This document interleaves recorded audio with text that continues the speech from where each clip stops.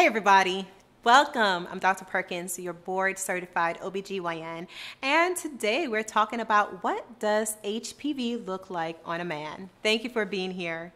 This is an important topic to talk about because HPV is woman-centered, but it is men-driven.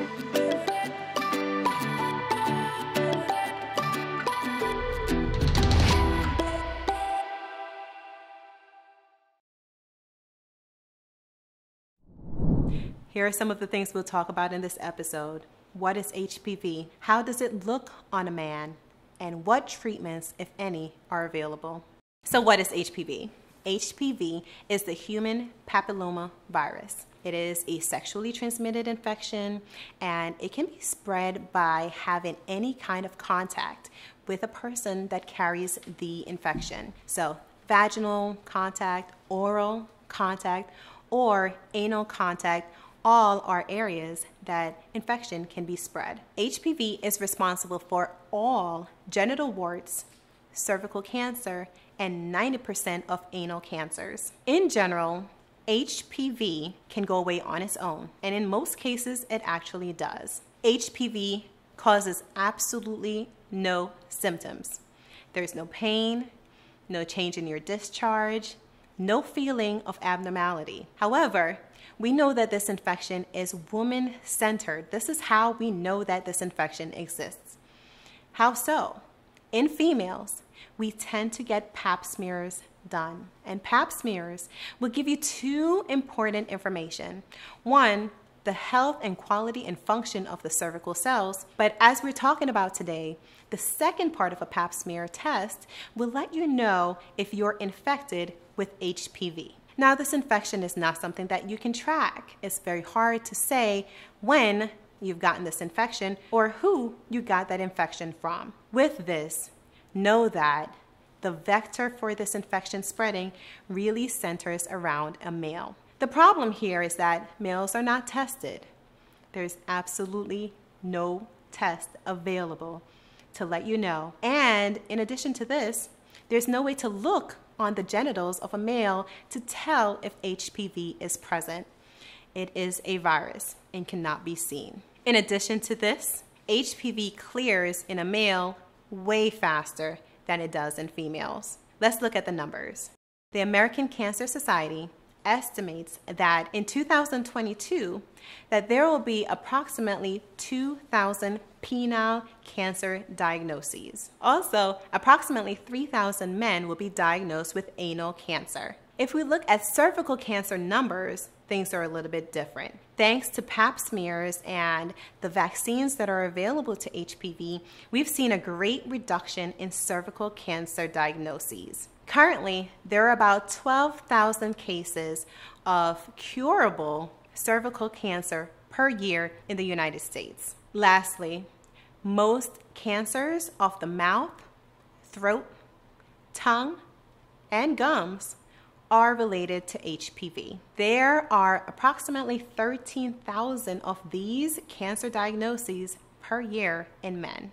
We talked about there being no test for HPV in men. However, there is one thing that might help you know that your partner has HPV. Now, if you're enjoying our conversation and content today, go ahead and subscribe to this channel. Now, what is this one thing that you may notice that tells you that your partner, your male partner, or if this is you, that you may have this infection? Genital warts all genital warts are caused by HPV. Now let's talk about the fact that HPV has so many different strains. These strains may cause different things. Some of them cause nothing, some may cause warts, and some cause cancer. The HPV strains that cause genital warts do not cause cancer. Now, it is possible that you may be infected with multiple strains at the same time. In females, pap smears can let you know if you have a high risk cancer causing HPV. It can also tell you if you have a lower risk or a strain that causes genital warts. The ones we worry about are those that are cancer forming. There are a subset of males that could potentially get testing done. In males who are gay, bisexual, or are high risk, sometimes the provider may consider doing a pap smear off the anal region on a male or the penile area as well. Now, this is not a standard, so if you fall into any of these categories, please speak with your provider about the options that are available for you. Oftentimes, when a female is diagnosed with HPV, there are questions about what do I do with my partner? What do I tell my partner? In all things, I recommend that you speak with your partner about anything that's really happening, especially sexually in your body or in your system. Now, the likelihood of a female passing HPV to a male is a lot less than a male passing HPV to a female. And HPV that is within a female system